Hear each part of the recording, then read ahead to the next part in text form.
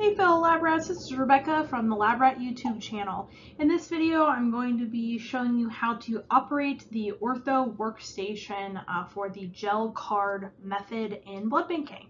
Alrighty, let's get started.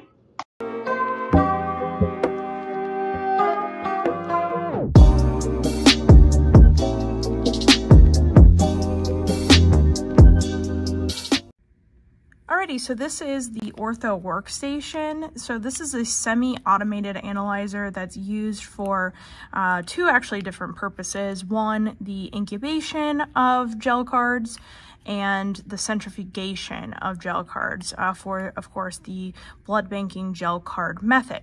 Um, so there's a couple of different things here on the front of this analyzer. So if you notice here in this box, you have two 15 minute timers. So you can actually adjust these if you'd like. Um, but for incubation for all these gel cards, uh, it takes 15 minutes. So that's why we have them set to 15. But if you notice here, um, there is up at the top, an incubator. So these are for incubating the gel card. So you would take a gel card here. This isn't loaded with anything. It's actually a brand new one. And you can put it down in here, shut it, and then start it. And it will start the time for 15 minutes. Now let's say you had another one come up. You can set it in here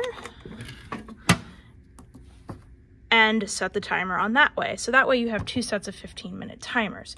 So after these get finished at that 15 minute incubation, you need to centrifuge your gel card. So I'm just gonna reset it here since we don't, we're not actually doing a sample.